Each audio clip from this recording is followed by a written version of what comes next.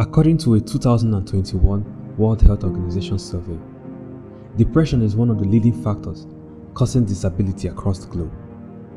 The same report estimates that about 280 million people worldwide are depressed. There are three levels of depression mild, moderate, and severe. They are classified based on how severe the symptoms are and the overall effect on the affected person's daily activities and functioning. In the worst case scenario, depression can lead to death. Causes of depression include physical or emotional abuse, substance abuse, family history, and dissatisfaction. Dissatisfaction is highlighted for the benefit of today's topic. One erroneous school of thought is the belief many people have that satisfaction comes from the quality of life. It is possible for a person to have within easy reach all the good things of life and still be miserable, unhappy, and broken. Such cases are on the news every other day. Talented footballer kills himself.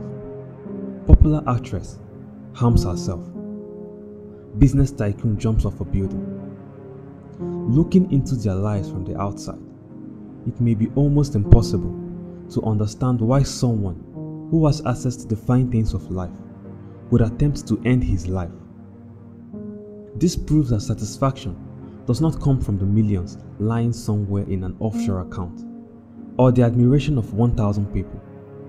Life is deeper than that. The dictionary describes satisfaction as unhappiness, displeasure, or discontent, or the cause of such feelings.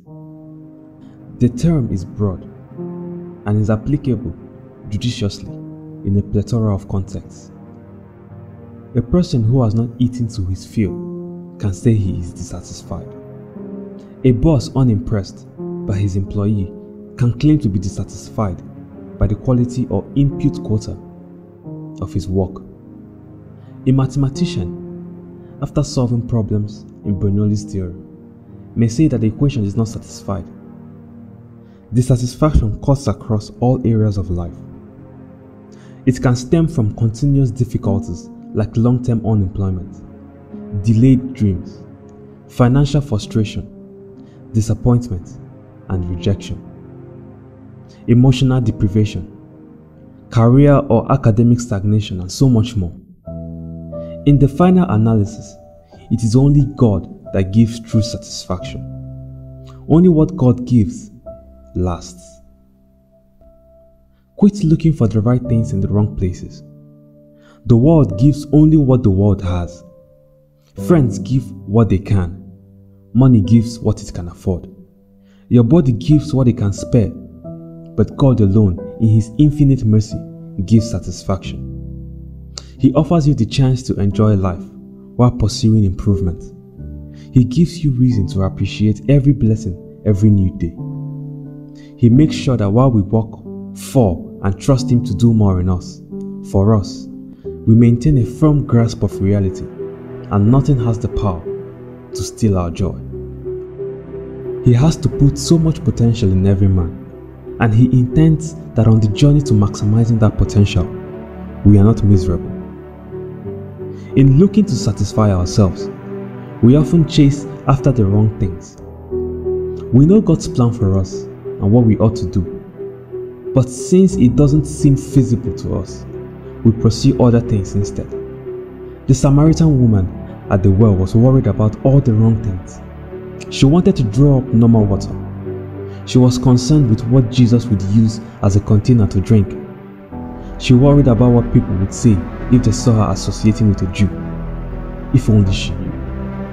The only license to obtaining true satisfaction is accepting the love and lordship of Jesus Christ and the sacrifice he made. Later, when Jesus said the things that the Samaritan woman thought were hidden, she called him a prophet.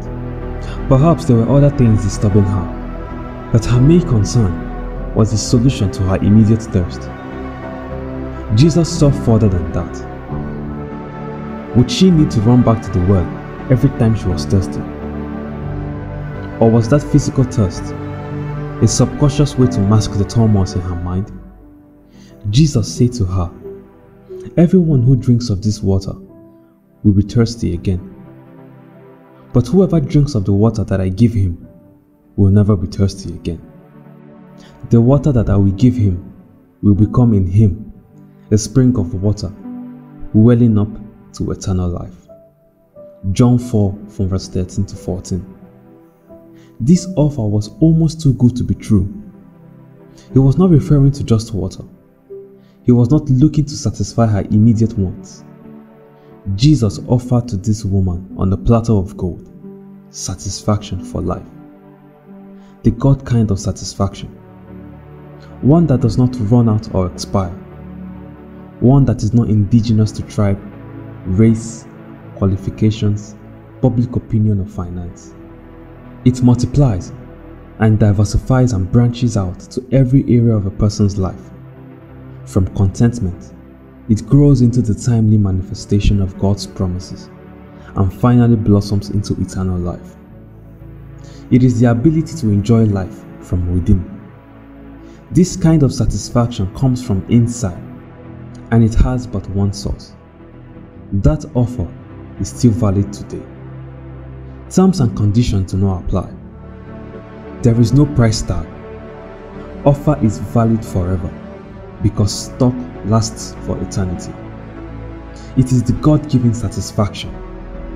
The satisfaction God gives is not up for argument or comparison with what is obtainable elsewhere. It shines in your smile. It shows on your face. It shows in your actions. It is there in your outlook of life and opinion on so many things. You do not feel the pressure to work yourself to the bone. You realize your self worth and the place of grace in any race.